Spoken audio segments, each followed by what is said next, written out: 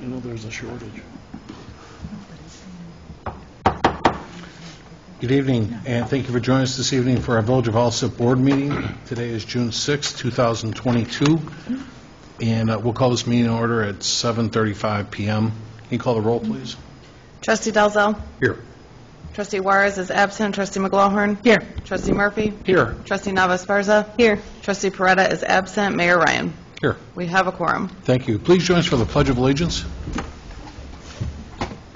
I pledge allegiance to the flag of the United States of America and to the republic for which it stands, one nation, under God, indivisible, with liberty and justice for all.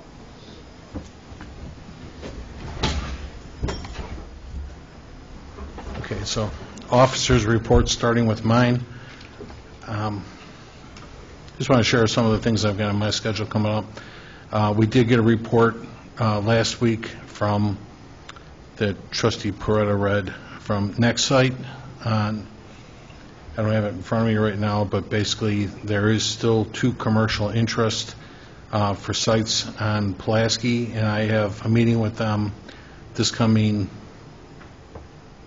I believe it's Thursday at 2 o'clock. So Charles will be here in town, so I'm going to meet with him on Tuesday, or Thursday, rather, so we'll- have an update for everybody after that. Um, There will be a ribbon-cutting ceremony, uh, trustees, if you're available, uh, at the Gas and Wash on Friday at 10 a.m., this coming Friday. Otherwise, both Friday and Saturday, Gas and Wash on 127th and Kostner is doing free giveaways with goodie bags and so forth to celebrate their grand opening of the Gas and Wash Alsip location. Um, This coming Wednesday, Becky's going to be attending a um, 2022, what's known as Fueling Illinois Growth Economic Development Workshop, that's out in Naperville. And um, tomorrow, um, Oh, we- we're going to meet with an organization regarding um, electronic vehicle um, charging stations. So we're going to get some information on that tomorrow. And um, that's 1 o'clock, we're going to meet with them. And then um, last Saturday, I participated in a um, bench dedication along the Cal-Sag Trail. That was interesting. You know, I I haven't ridden my bike, my bicycle in a while, you know, but it was, uh, I went up to the trailhead up on uh, CalSag Road, about just, uh, just be, just short of LaGrange Road. And I'll tell you, that trail is absolutely beautiful, you know, riding that trail. And they dedicated five benches in, um, in a few of the, dir- there was one in um, Palos Park, one in Palos Heights. um, Where else were we then, too? Palos Park, Palos Heights, and uh, two of them in, um,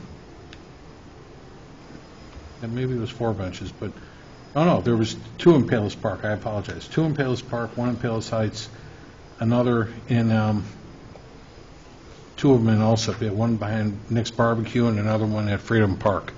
So it was a, a nice adventure. And then, again, to solidify my argument that I brought up a couple weeks ago about doing more with 115th Street, I rode my 26-inch Schwinn that hasn't been used in some years, and had mountain bike, I had to put new, new air tubes in and everything, know, but rode that from, this from Freedom Park all the way to 115th and uh, Joalis behind uh, Chateau Bu-Sche, and found, didn't find a safe way to cross Cicero Avenue. The traffic was just absolutely nuts. I had to turn around and drive all the way back past the Village Hall to get home and all that kind of thing. So, again, that's my mission in life, is to get a sidewalk that can safely cross you at 115th and Cicero, because I stood right there and I couldn't do it. Forget it, you know, so.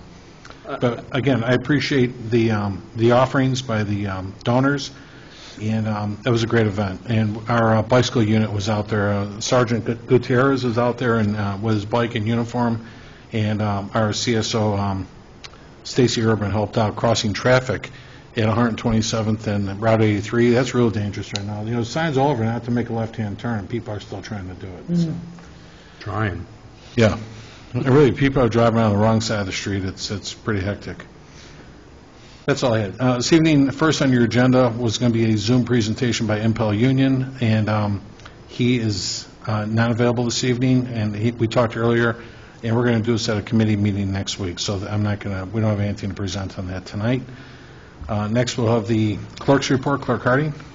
Thank you, Mayor. I have the approval of the May 16th, 2022 board meeting minutes and the presentation and approval of the May 31st, 2022 committee meeting minutes. And that is all I have, Mayor. Okay, thank you. Then we have the attorney's report. Joe Cainkar? I have no report, Your Honor. All right, Joe.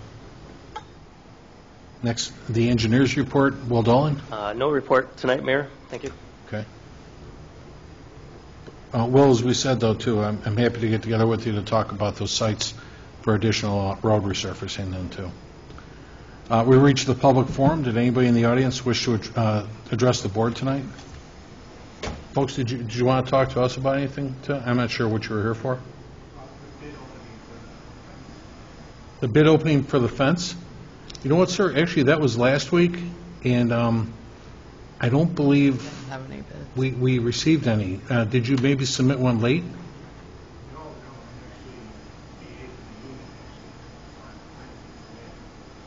Okay. Oh, I'm sorry. Um, We are going to repost that RFP, and I'll give you a new date on that, too, when that comes out.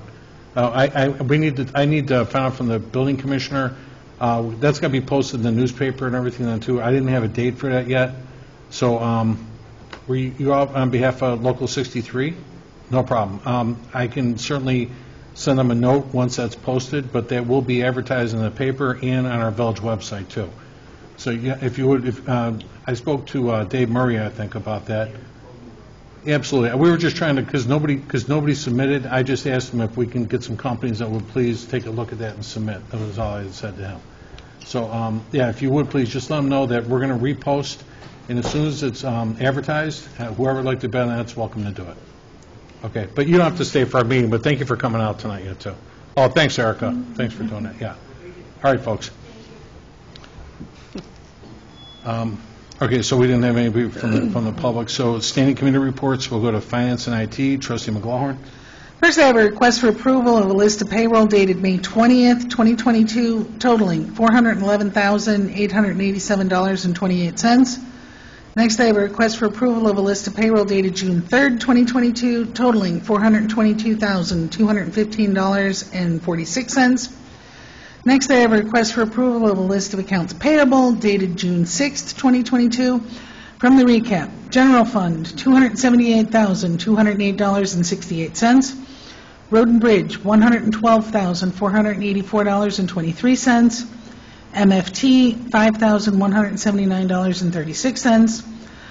Pulaski Road Corridor TIF, $3,237.30.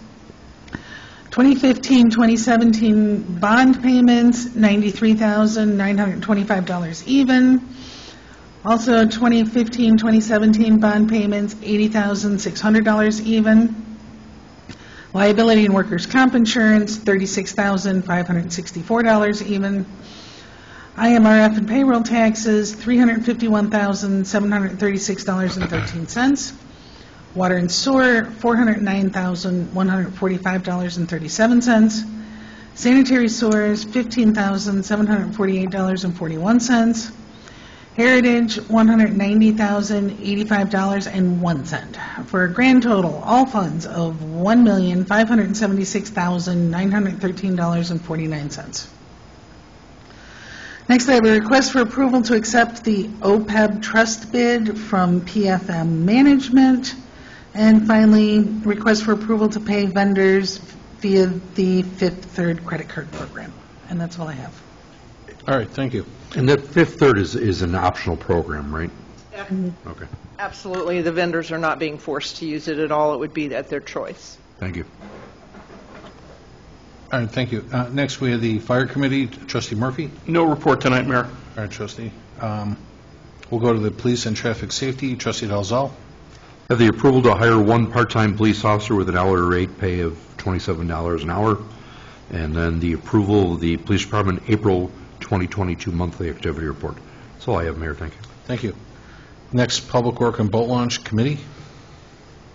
Uh, That would be me. Uh, Approval to go out to bid for the cleanup and restoration of village parkways due to recent 87 tree removals, and that's all I have, sir.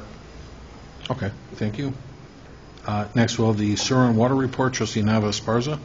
Thank you, Mayor. I have the presentation and approval of the Water Department May 2022 monthly activity report, and that's all I have.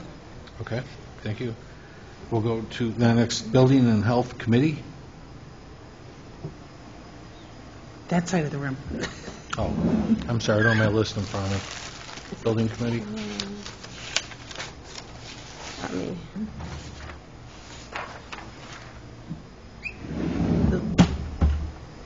Oh, I can take it. Hmm? Approval of an ordinance granting variations from the provisions of Chapter 3 Advertising, Article 2, Signs, Section 3-30, Location of signs in zoning districts of the municipal code for the Village of Alsip for the property located at 11501 South Pulaski Avenue. Next, there's a request for approval for the Knights of Columbus to hold their annual Tootsie Roll Drive to take place on September 16th and 17th at the corners of 111th and Cicero and 115th and Pulaski. Next, there's a presentation and approval of the Building Department May 2022 monthly activity report. And finally, the presentation and approval of the Health Department May 2022 monthly activity report. And that's all I have, Mayor.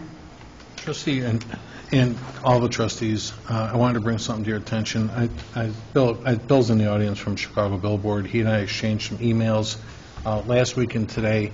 And one thing I wanted to address on here was just, uh, I was really concerned about not losing the 12-foot setback that we established in the, the original ordinance. And um, as you're reading the variations on the ordinance that we had drafted, um, I'll just read from this quickly. It says that variations, that variations from the provisions in Chapter 3, advertising, Article 2, signs, Section 3-30, location of signs in zoning districts of the municipal code for the Village of Alsip to allow for one sign structure containing two video displays, each, each having a size of six foot in height and 12 foot in width, and said sign structure to be, what it originally said, on your- what you're looking at is, and said sign structure to be located closer than 12 foot, uh, 12 feet from the corner of the lot and situated in a manner, in a roughly 45 degree angle bisector extended from a vertex of 90 degrees perpendicular to the corner uh, intersection of 115th and Pulaski. Uh, The only adjustment I wanted to make to that, I want to add just a single word to that, where I want to say that, where it said that a um, video displays each having size of six feet high by 12 feet in width, and said sign structure to be located, I want to add the word "no," me- meaning no closer than 12 foot. As I told Bill, I don't want to lose the sight line. We worked very hard, uh, you know, our attorney, Joe Cainkar, worked very hard on establishing that 12-foot setback to make sure it's a safe corner. I don't want to lose that, that same distance, so I I do want to maintain that 12-foot setback. And I want, I'd like- I'd like to add that to the, the ordinance, just to say no closer than 12 feet from the corner, to be, to be sure it's going to be a safe corner. Were there any, any other questions on that? Mayor, I wasn't here last week. Is it my understanding that this is going to be two signs on a, basically a pinpoint with a sign above it? Yes. Um, The Las Fuentes sign would be above it, and then these two signs would be below it? Yes.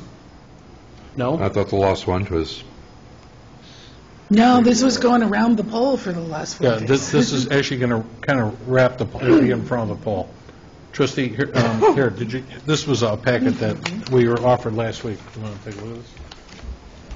So could you repeat that then? So the Las Fuentes sign is coming down? No.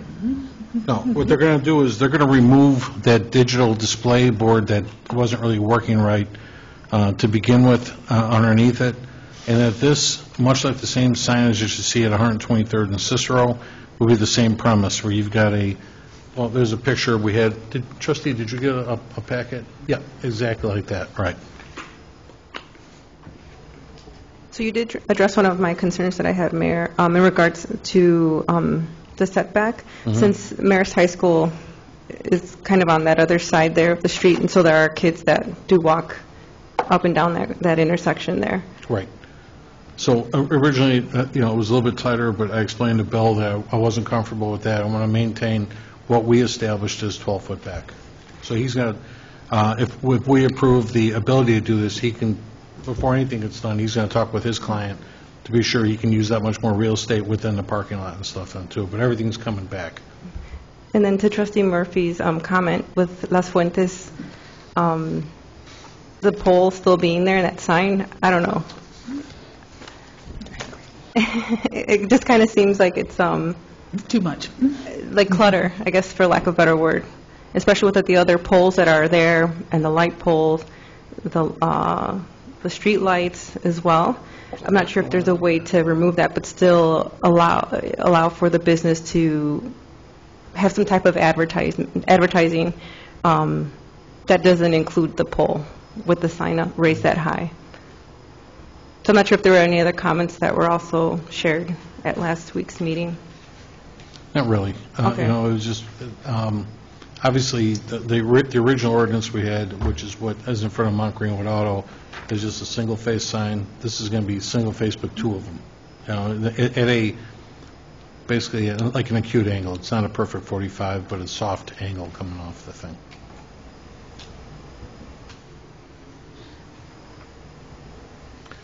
So, um,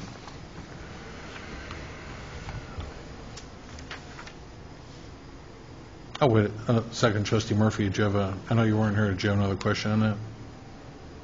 I just think there's a lot going on here.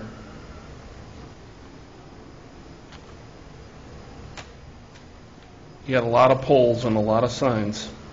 Um, Well, you're you're going to have just a single pole that's going to be kind of wrapped, uh, covered, let's put it this way, you're basically covering it with the, uh, with the new brick signage in front of it. I, I understand that part of it, but, you know, you have two, You you have the street, two street poles here that are right in the, mid- on either side as well. the stoplight pole, the,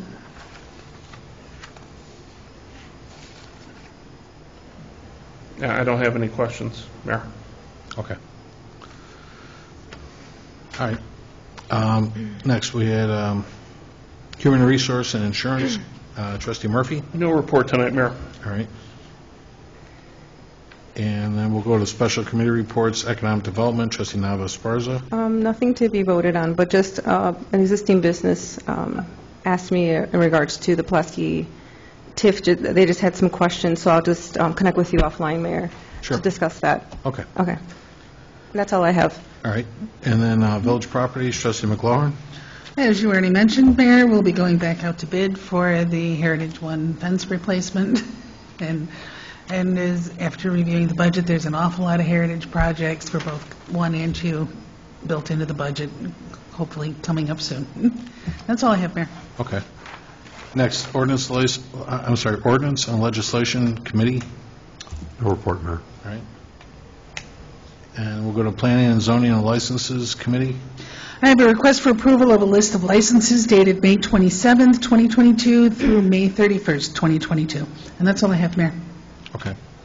Thank you. Anybody have any presentations, petitions, or communications? Did anyone wish to remove anything from the consent agenda? I would like to remove letter J, Mayor. J, J, okay. Anybody else? All right, then, can I get a motion to establish the consent agenda? So moved. Second.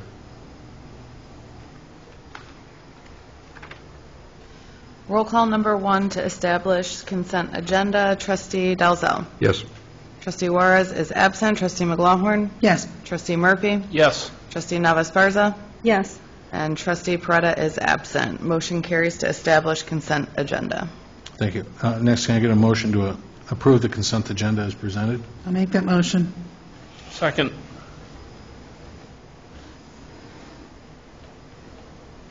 Roll call number two to approve consent agenda, trustee Dalzell. Yes. Trustee Juarez is absent, trustee McLaughlin, Yes. trustee Murphy, Yes. trustee Nava Esparza, Yes. trustee Peretta is absent. Motion carries to approve consent agenda. All right, thank you. We'll go back to the item that was removed, letter J, the approval of an ordinance granting variations from, uh, from the provisions of Chapter 3 Advertising, Article 2 Signs, Section 3-30, Location of Signs and Zoning Districts of the Municipal Code of the Village of Alsip for the property located at 11501 South Pulaski Avenue, Alsip, Illinois. Uh, Before we take any questions, did we have a motion and a second to approve this? I'll make the motion.